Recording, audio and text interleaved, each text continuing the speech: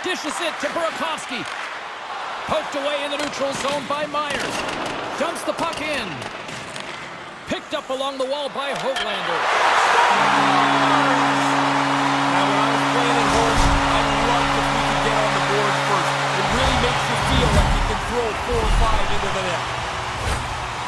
You got to get into the middle of the ice to score. He's in the low slot. He whips the backhander past the goalie.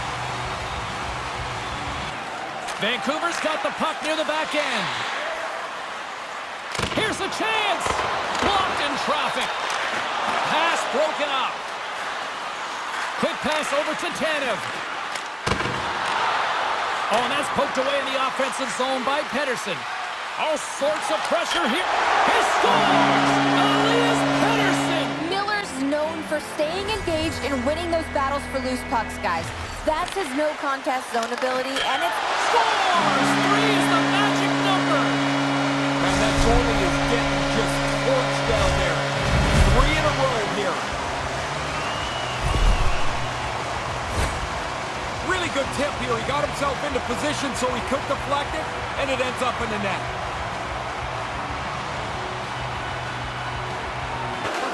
The Canucks have it now. They'll want to clear the zone here while they're trying to kill off this penalty. He scores! Even under man, they deliver. Miller's going to play it against the half wall. And he's got the answer for that one. Scores! On the rebounder. Push it home.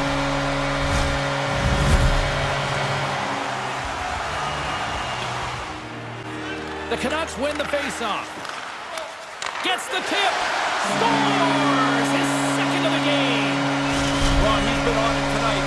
Really good skating legs. He's finished off a couple of plays, too. And he slides it quickly to Wennberg. He's got a step.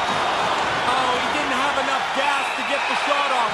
Really good work by the defender to close the gap.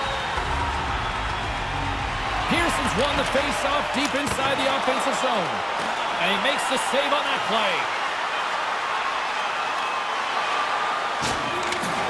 Final horn sounds bringing this one to a close. Vancouver's performance, a lot to like in so many areas. What pot for you? For me, James, it's the way that they controlled the puck. They had it on their stick most of the time. They controlled much of the game. Well, listen to this place popping for the home team as they pay respect and homage to the home fans who pay their hard-earned money. I think this is a cool tradition that started. I'm not even really sure if it's the last 10 years or so, but when I first saw it, I didn't think it would last. Now I'm like, it absolutely belongs. It's the right thing. Hope everyone had as much fun as we did here tonight for all of us at EA Sports. I'm James Cybulski saying peace.